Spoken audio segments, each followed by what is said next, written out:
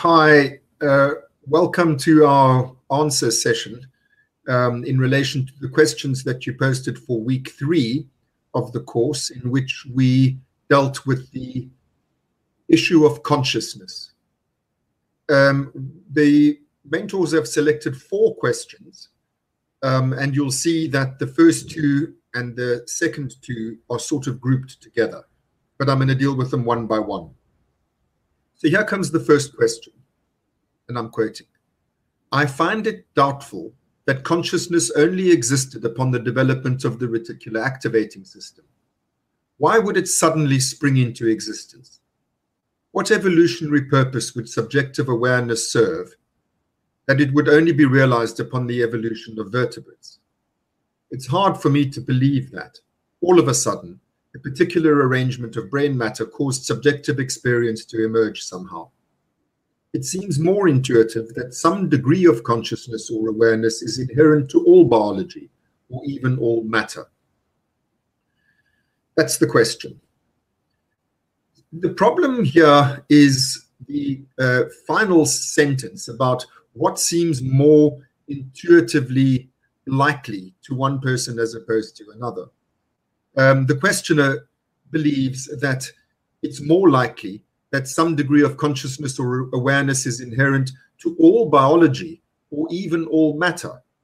Now, I'm not sure that everyone would agree with that. I think there would be many people who find it highly unlikely intuitively that awareness attaches to all biology, for example, to trees, or even more so, to all matter, for example, to carpets.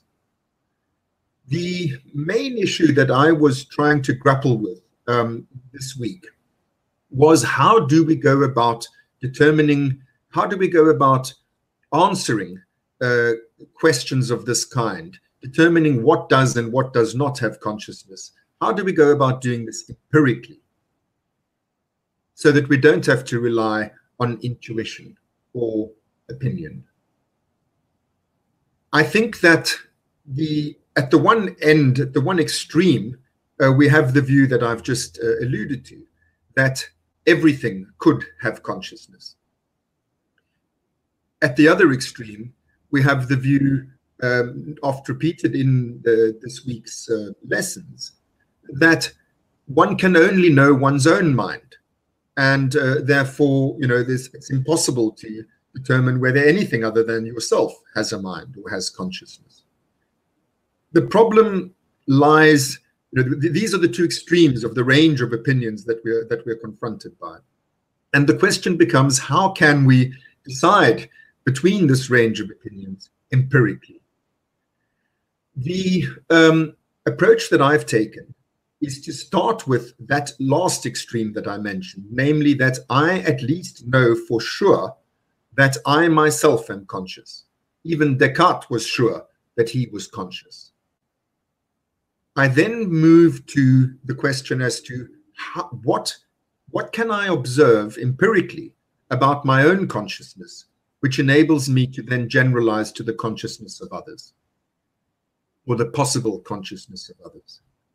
What I can observe empirically about my own consciousness is that it's dependent upon the integrity of my reticular activating system. I then generalize that the same applies to all other creatures who have reticular activating systems. And that includes, as it happens, not only all other humans, all other primates, all other mammals, but also all other vertebrates. I then hypothesize that all of these creatures have consciousness like me, which leads me to make predictions as to how they will behave given the hypothesis of consciousness predictions flow as to how they'll behave if their reticular activating system, portions of, of that system are stimulated in, in, in, in specific areas.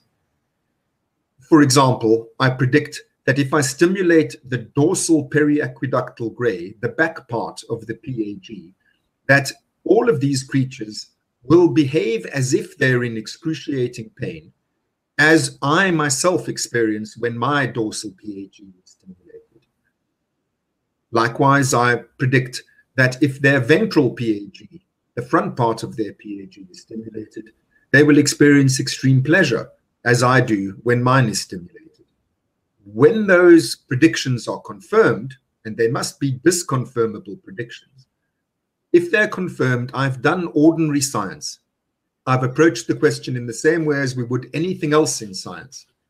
This gives me an empirical basis for provisionally accepting that these creatures at least have consciousness.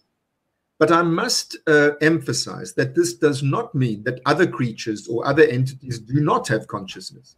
It's just that these, at least, we can, on an ordinary scientific basis, assume they do.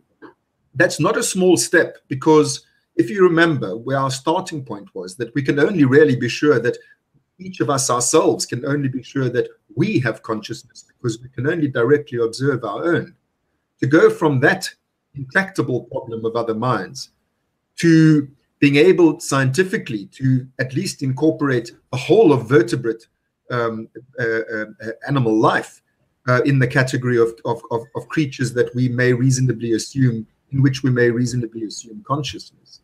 Uh, that's, uh, that's, uh, that's an achievement not to be sneezed at. Um, but I do accept that it is unlikely that this particular arrangement uh, emerges suddenly in evolution and that nothing prior to that has any semblance of consciousness. It's just that then we start to get into the murky area of speculation and it becomes increasingly difficult to do experiments. So I, I hope that um, that that clarifies the matter. And you'll see now as I go to the second question that uh, these issues recur once more.